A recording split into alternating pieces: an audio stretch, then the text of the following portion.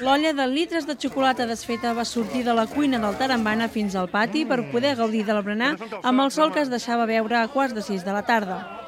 Tot i el sol, però, la tarda no era pas calorosa i s'agraïa l'escalforeta de la xocolata. Com sempre, els més menuts van ser els que més van agrair el dolç àpat. Alguns van haver de bufar una estona, i d'altres, de més impacients, no van resistir la temptació i es van endur alguna decepció.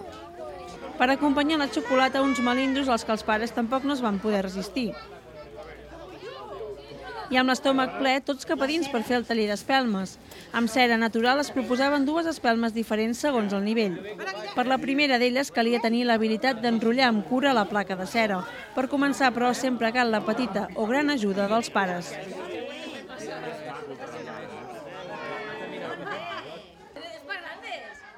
Anar sucant un globus d'aigua en cera fosa era el repetit procés necessari per crear la més complexa de les dues espelmes. A base d'anar creant capes, es configurava un petit got de cera on després poder posar més cera d'un altre color i col·locar, finalment, el ble abans que la cera no s'acabés de solidificar. Liles o vermelles, més rectes o més originals, tothom va poder sortir del Tarambana amb una espelma per exposar a casa o bé aprofitar per fer algun regal artesanal.